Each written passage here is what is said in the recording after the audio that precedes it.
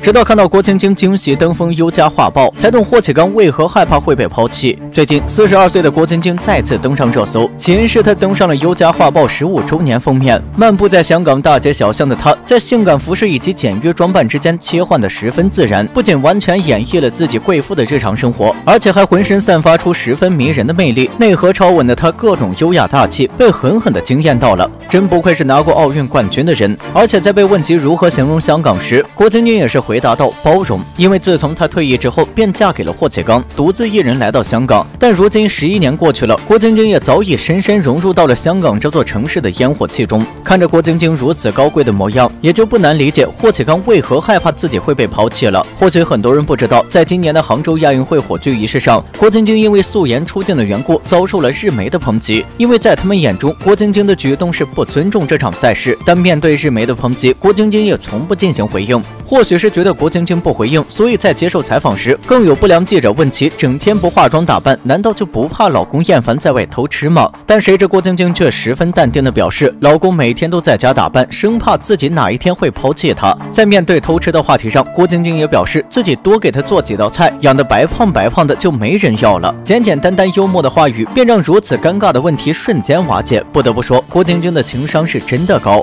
其实也不怪霍启刚会如此担心，毕竟当初在他们大。婚时，霍启刚就已经见识过郭晶晶有多美了。别看郭晶晶之前一直在训练，无暇打扮自己，但在大婚时的打扮却亮瞎了很多人的眼。当天，郭晶晶连换十二套礼服，尤其是主婚纱，伴娘都围坐在一旁时，郭晶晶更是变身一个高贵的公主，脖子上的名贵项链瞬间就变成了一个陪衬。而且他当天还穿着一双镶嵌着钻石的水晶鞋，总价值高达七百多万，十分的闪耀。面对一个如此美貌的老婆，所以霍启刚也是主动各种精心打扮，生怕哪一天被抛弃。不过别看郭晶晶如此美，但她的心地也是数一数二的善良。看到郭晶晶的高级炫富，才懂李湘七千元早餐有多可笑。前段时间甘肃发生六点二级的地震，牵动了很多国人的心。郭晶晶与老公在得知后，第一时间就捐款了七千万。而且值得一提的是，从二零一九年到现在，郭晶晶在内地的捐款就高达近三亿，但面对这些善举，其老公也是发文称，这都是尽自己的绵薄之力。而且值得一提的是，他们夫妇二人在捐款时从不主动宣传，都是官方媒体曝光之后，众人才明白，原来如此低调的郭晶晶与霍启刚却捐了这么多钱。不得不说，这才是真正的高级炫富。而反观同是阔太的李湘就没有如此低调了。在某档综艺节目中，李湘一顿饭就花掉了七千元，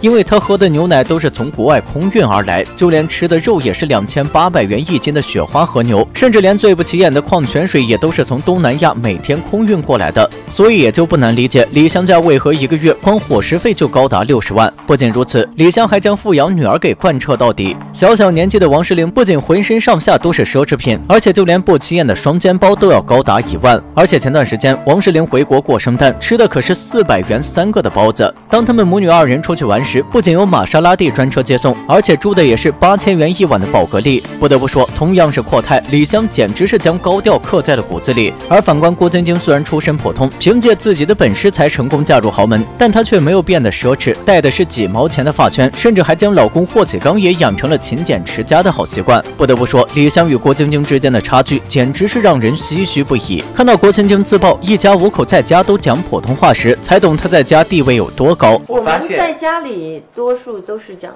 普通话，这让郭晶晶十分骄傲的一幕发生在某采访现场。当时郭晶晶分享了一家五口的日常生活点滴，表示一家人在家都说普通话，而老公霍启刚普通话水平能如此之高，也完全都是郭晶晶的功劳。或许很多人不知道，霍启刚在追求郭晶晶时，为了能有更多的交流，所以霍启刚便主动去学普通话。那个时候呢，还没有所谓现在的什么苹果手机啊，那个时候零零四零五年嘛，还用的诺基亚。诺基亚，嗯。诺基亚那个键盘，那个那个那个手机，完了一辈子没打过中文，那给他发消息嘛？对，发消息的时候，他总是比如说他发了一个消息，怎么我半个小时都不回，因为我打的很慢，我又要一个一个一画一画的这样子打进去，结果我说这我心里想不行了，要要学拼音。要学拼音才打得快吗？也正是因为如此，霍启刚的普通话才能突飞猛进的进步。不仅如此，郭晶晶也主动表示自己的广东话也一直在进步。因为霍启刚从不纠正他的发音，也是不想打击他的积极性。因为霍启刚知道学会另一种语言有多难。不得不说，他们两个人之间的爱情真的是双向奔赴的。不仅如此，身为公公的霍震霆对郭晶晶这位儿媳也是相当的满意。所以我觉得不做了。现在已经变成我们霍家，如果 或者颁奖不是就麻烦了，所以我没有了。我觉得也很难不做了。而且在大婚时，霍震霆更是当众用下嫁二字，不仅感谢了郭晶晶，而且还给足了郭晶晶脸面。这可是多少阔太做梦都不敢想的事情。由此可见，郭晶晶在家中的地位究竟有多高？你们觉得对吗？